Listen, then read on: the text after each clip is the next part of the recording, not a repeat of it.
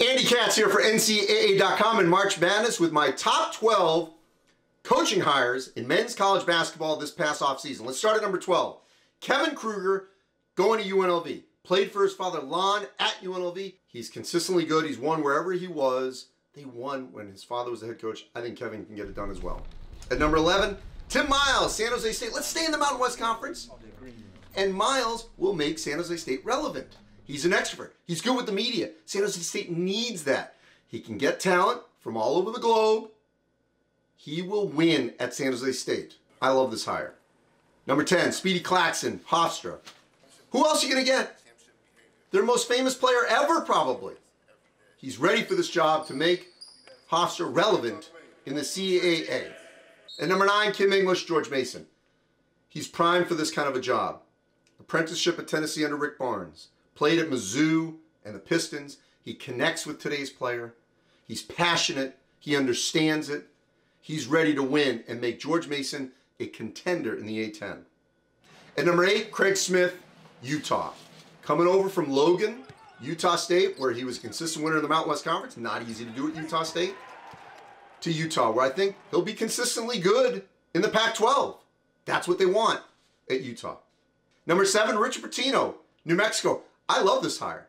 The Lobos bleed Lobo basketball on campus, in the state of New Mexico, all the fans. They absolutely love Lobo basketball.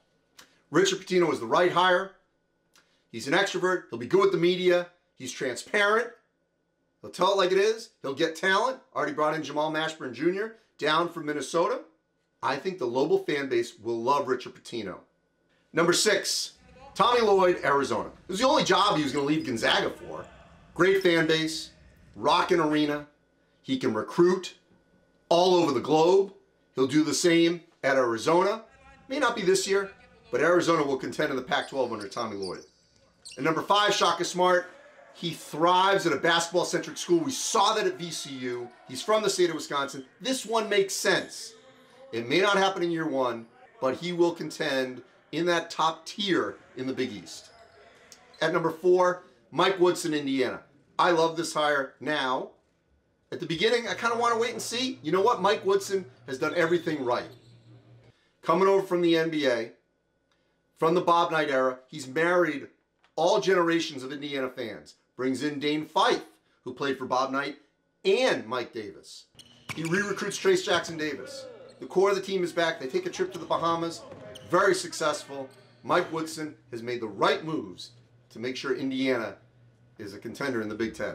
And number three, Porter Moser, Oklahoma. Very similar to Lon Kruger. Defensive minded. He learned from the late great Rick Majerus. I'm going to take your best player away from you. I thought Porter would go to DePaul, Marquette, maybe a Big Ten school if it opened. But you know what? He will win at Oklahoma this season in the Big 12. At number two, Hubert Davis from North Carolina bleeds Carolina blue. He will consistently recruit the best players in the country. He'll connect the NBA alums, and there are plenty of them with Carolina connections, to today's player. He was ready for this. A little surprised Roy Williams decided this spring, but he had a national search, but there was only one name. One seat over, Hubert Davis. But at number one in this cycle, for me, it's Chris Beard. Former walk-on at Texas under Tom Penders. Texas Tech to Texas. It just makes sense. He's done a tremendous job with the transfer portal this offseason. They're going to be a contender for the national title in year one. And so, tournament wise, he's always won. Texas lost to Abilene Christian in the first round. I don't see something like that happening with Chris Beard leading this Texas Longhorn team and program. Great staff. He's doing everything right. It was the biggest no brainer in this coaching carousel Texas got it done. Chris Beard, without question for me, the number one hire in men's college basketball in this offseason.